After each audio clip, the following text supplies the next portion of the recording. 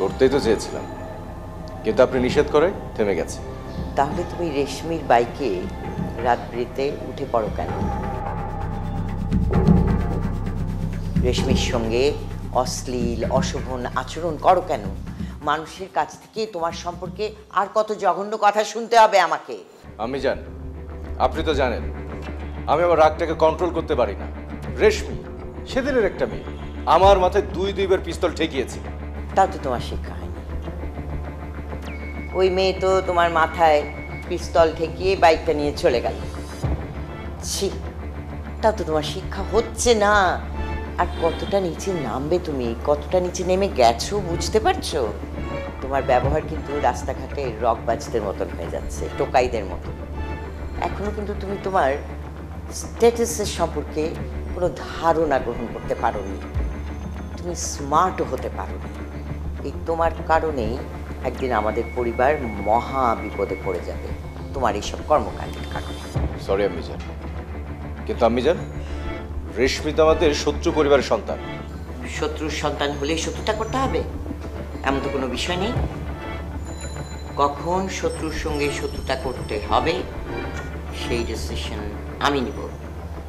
কখন বিজলি হায়দারকে ফেলতে হবে সেই সিদ্ধান্ত আমার মনে থাকে যেন কথাটা সরি আম্মি জান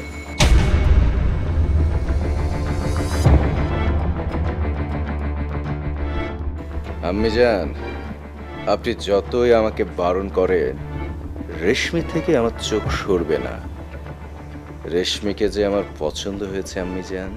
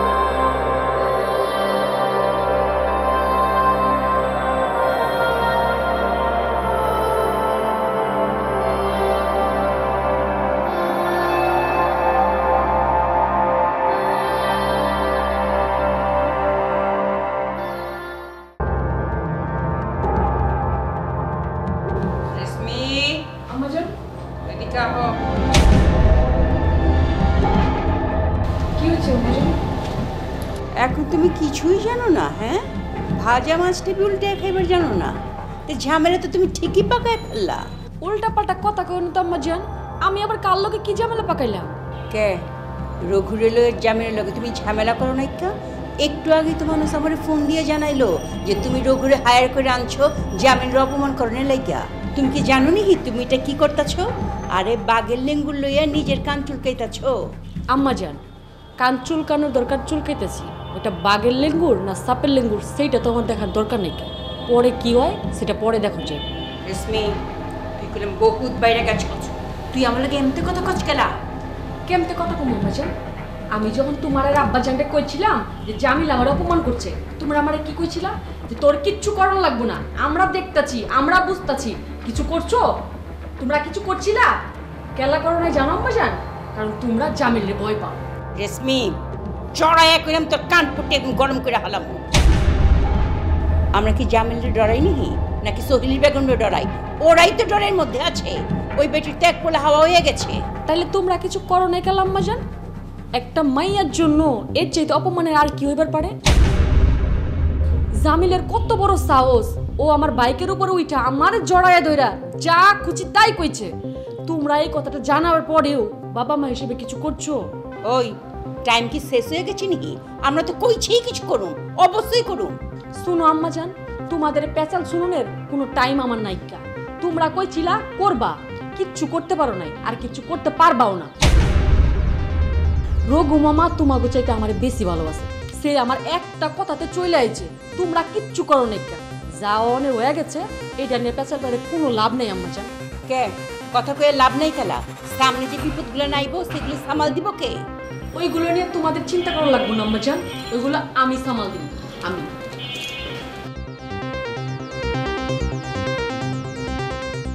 মায়া কইতেছে কি সাহস তো দিন দিন বাড়তেছে দেখি।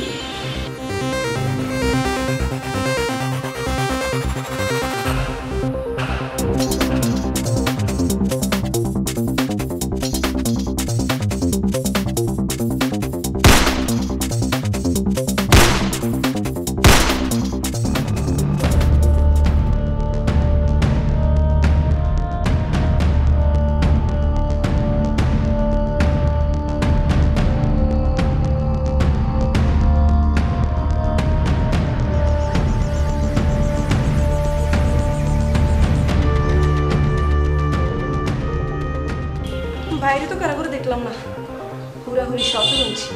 স্পষ্ট গুল্লির শব্দ আর অনেক ডর লাগে গো। আরে ভয় পেও না। ওরা শুধু শুধু ভয় দেখাবে। আর কিচ্ছু করতে পারবে না। আমরা যদি ভয় পাই ওদের জয়। আর আমরা যদি ভয় না পাই তাহলে ওরা পরাজিত। আমাদেরকে আরও শক্ত হতে হবে। ভয় পাওয়া যাবে কি এখন? গুল্লি করছে? ইয়ার আরও ডরাইতেন না। আরে ভয় কেন পাবে? ওরা তো শুধুমাত্র গুলি করেছে। ফাঁকা গুলি। তোমার ঘরেও গুলি করেনি তোমার গায়েও গুলি করেনি। সেই সাহস ওদের নেই। এর আগেও তোমাকে বলেছি ওরা শুধুমাত্র ভয়টাই দেখাবে। শোনেন আর অনেক ডর লাগে। আর না কেন কাম করেন?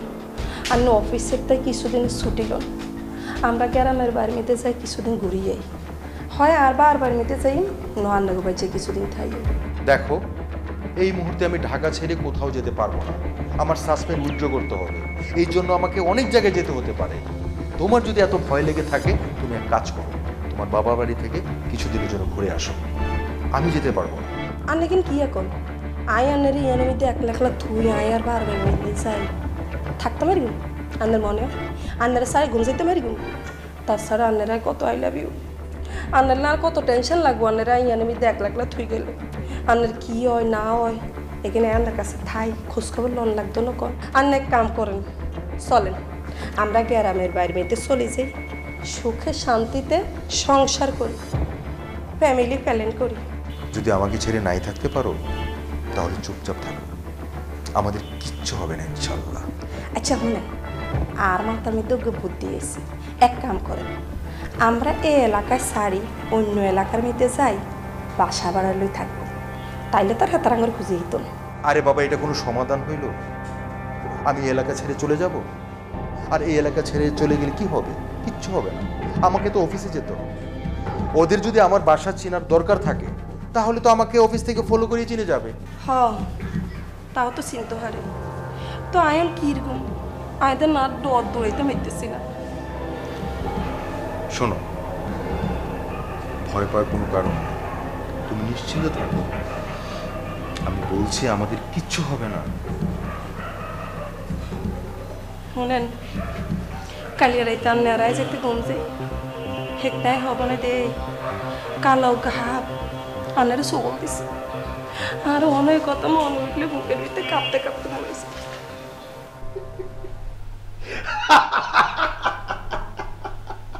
ছোট মির্জার আজকে খুব খুশি খুশি মনে হইতেছে। দাঁড়া দাঁড়া হাসি হাসি দাঁড়া হাসতেছি খুশিতে আজকে তো ঈদের দিন আমার। দারোগা রেজাও তার দুনিয়াটা ছোট হয়ে আসতেছে। বিপদের পর বিপদ ঘনে আসতেছে। আমি নিজের চোখেই দেখতে পাচ্ছি। দারোগা খুন হইলে তো আপনি আরও ভয়ঙ্কর খুশি হইবেন। হ্যাঁ দারোগার মৃত্যু হলে আমি ভয়ঙ্কর রকমের খুশি হব। I will be the happiest person of this world কিন্তু সেটা আমার হাতে হওয়া যাবে না। কেন? সেটা চাইবেন না কেন? সব কিছু বুঝে ফেললে তো তুই আর মাসুদ থাকবি না। তুই তো মির্জা কায়েস হয়ে যাবে। শোন আমি কাটা দিয়ে কাটা তোলার খেলোয়াড়। আমি কেন পচা শামুকে পা কাটবো হ্যাঁ? আমি কিছু করব না। আমি চাই না আমার দ্বারা ওর কোনো ক্ষতি হোক। তাই আমার লোকও ওর একটা লোমও স্পর্শ করবে না। ও যে অপকর্ম করেছে, এই দারোগার এমনিতেই অনেক শত্রু তৈরি হয়ে গেছে। সবাই তার উপরে খেপা মির্জা জামিল খেপা আমার মা সহিলি বেগম খেপা বিজলি বেগম খেপা ওরাই তো তোরে সাইজ করার জন্য যথেষ্ট। মুসার সাথে তো তার খুব ভালো সম্পর্ক। ভালো সম্পর্ক ছিল, এখন নেই। মুসা আর দারোগার সম্পর্কটা খারাপ হয়েছে আমাকে কেন্দ্র করে। এই দারোগা, মুসা, মির্জা জামিল, ওদের সাথে এত ঝামেলা করেছে না, একদম সম্পর্ক তলানিতে ঠেকেছে। কাজেই সম্পর্কটা যেখানে ঠেকেছে, সেখানেই থাকুক আমি চাই। ওখান থেকেই ওকে খুন করুক ওকে আহত করুক যা খুশি করুক। আমি টাচ করব না। আপনি দারোগারে ছাড় দিতেছেন যে আপনার এত বড় ক্ষতি করতেছে। দারোগা আমার কোনো বড় ক্ষতি করে দারোগা শুধু চেয়েছে আমাকে ব্যবহার করে আমার পরিবারের যত গোপন তথ্য সেগুলো বের করতে। আমার আম্মি যান সোহেলি বেগম।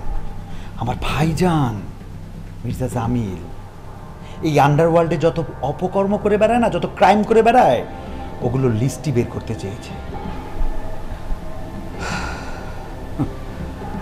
আমার উপরে আমার উপরে যত অত্যাচার হয়েছে, যত অন্যায় হয়েছে, সব করেছে আমারই আপন ভাই মির্জা জামিন ওই থানা থেকে গুম করে আমাকে সরিয়েছে মির্জা জামিল। সুযোগ পেলে আমাকে মেরে ফেলতো। টর্চার করেছে মির্জা জামিল। এই সকল কিছুর এই সকল কিছুর নাটের গুরু হচ্ছে মির্জা জামিল। এখন তো এইসব সোজা। মির্জা জামিল আর দারোগা। ডিসুম ডিসুম ফাইট করবে আর আমি দর্শক দেখব আর তালি দিব। আপনার বুদ্ধি আমার পছন্দ হয়েছে। আপনার টেকনিক আমার ভালো লাগছে। আপনি আন্ডার জয় করতে পারবেন। যে ছোট মির্জা কোনোদিন কারও গায়ে হাত তুলতে পারে, এটা কল্পনা করিনি। সে বুদ্ধির খেলায় এত দূর চলে গেছে, সেটা তো আমি কল্পনা করতে পারিনি। আপনি বুদ্ধির খেলায় রাজা, আপনি ঢাকা জয় করতে পারবেন। আপনি আন্ডার জয় করতে পারবেন। আসলে, তাই না? পামটি মারতেছিস তুই আমারে। চল মাসুদ এসব পামটি জামটি আমারে মারবি না। মির্জা কায়েস পাম ডিজাইন কি পছন্দ করে না পছন্দ করে অ্যাকশন ডাইরেক্ট অ্যাকশন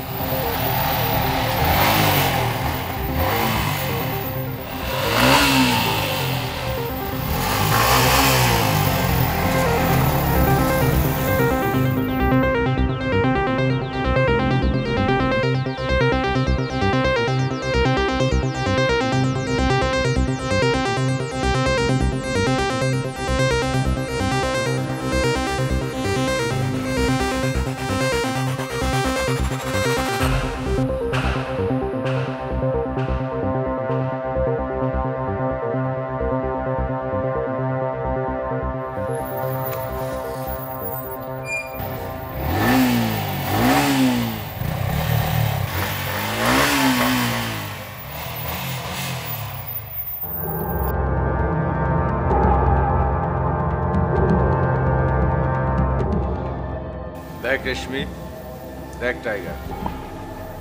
একদম ফাজলাম মারবি না। এখন ফাজলামের সময় না। ভালোই ভালো এখান থেকে চলে যা। আরে ইস। বেবিটার মুড নাই মুড নাই। কেন?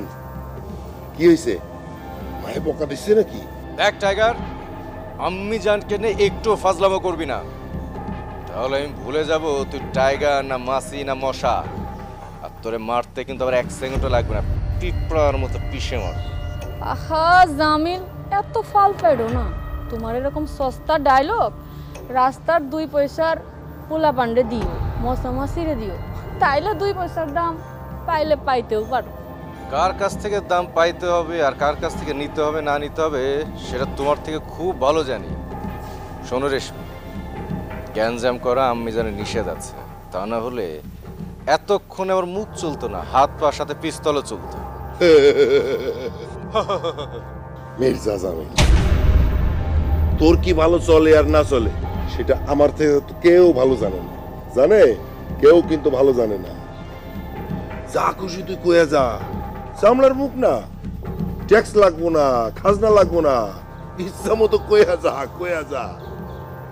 যার মুখের কথার কোনো দাম নাই, সেই মানুষের। কোনো মূল্য নাই। দেখ টাইগার তোরা আমার একদম বিরক্ত করিস না। আমার ছোট ভাই কায়েসরে কোথাও খুঁজে পাওয়া যাচ্ছে না। এই কারণে আম্মাজান একদম ভেঙে পড়েছে। আর আম্মাজানের অবস্থা দেখে আমারও ভালো লাগছে না। চারিদিকে শুধু অন্ধকার দেখছি। সময়টা একদম ভালো যাচ্ছে না। খবরদার তোরা একদম ঝামেলা বাঁধাবি না। যা এখান থেকে। জামিল তোর আম্মা জানের প্রতি ভালোবাসা দেখা খুবই অবাক হইলাম। তাহলে চিন্তা কইরা দেখ, তুই যে রাস্তাঘাটে এক একজনকে হুমকি দামকি দেয় মাইরা ফালাজ গুলি চালাজ চিন্তা করে দেখ, কত মায়ের অভিশাপ তুই কামাই চলছ কত পাপ করছোস। এই সমস্ত হিসাব তো তো দেওয়ান লাগবো। এখন যা, বাসায় গিয়া আম্মি জানের খেদমত কর। হ, মির্জা জামিল। বাড়ি যা বাড়ি যা। আম্মা জানের একটু খেদমত কর, সাবধানে থাকবি। তোর যে, তোর ভাই একটা ঘুম হয়েছে না, তুইও যেন ঘুম না হয়ে যাস তোর মায়ের বুকটা খালি করিস না হ্যাঁ? সাবধানে থাকিস, সাবধানে।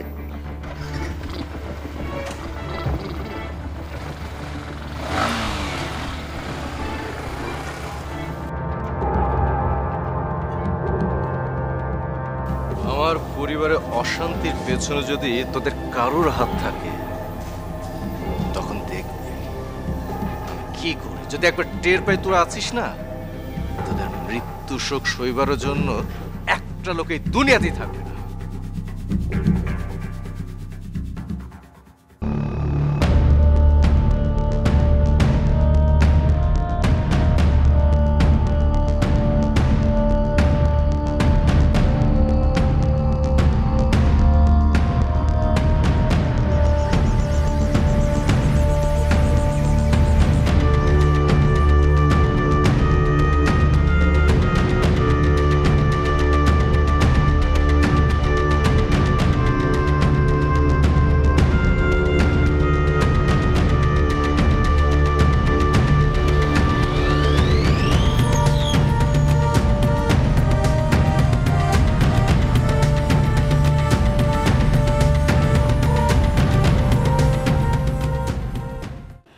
না সত্যি করে কনছে আন্নের এই অবস্থা কেন কে করছে? শুনেন আন্নে তাগুলো মামলা করেন। আর আন্নে যদি মামলা না করেন তাহলে আর এখন আইন নিজে বা দিয়েও হেতাগুলো মামলা করবে। আরে বাবা এত কথা বলতেছে কেন? আমার এত কথা তো ভালো লাগতেছে না। চুপ থাকবা। কেন চুপ থাকুন কন? আল্লাহ আন্নারে কত বড় বিপদেতে রক্ষা করছে। আজ যদি সুরিকান আন্নের হেডে দি ঢুকে যেত আন্নে বাইসতেন ইয়ালে কই হেতা করে সিনির আনের আন্নার দরকার আছে। যারা আমাকে রাস্তাঘাটে অপমান করতো তারাই করেছে। আন্নে হেতা করে চিনেন না? না চিনি নাই সানগ্লাস পড়েছে। ওমা কি এখন? আন্নের সুরি মারছে হিয়ার হরো আন্নে হেতা করে চিনেন না। আর রাইতের বেলা আন্নে সানগেলা সরি আনেন কিনে। আমি সানগ্লাস পরবো কেন? ওরাই তো সানগ্লাস পরা ছিল কি এখন? খুনিরা রাইতের বেলা সানগ্লাস পরি আন্ডে। হ্যাঁ আরে ইয়ারলে বলতে জায়গা মতো কোপ দিতে হারে না আন্নে বাসে গেছেন।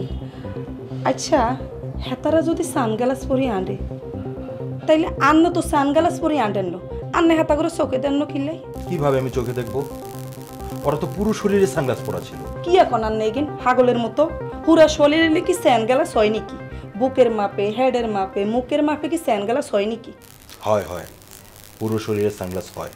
বাবুরে বাবু আজ জীবনও শুনি নইগিন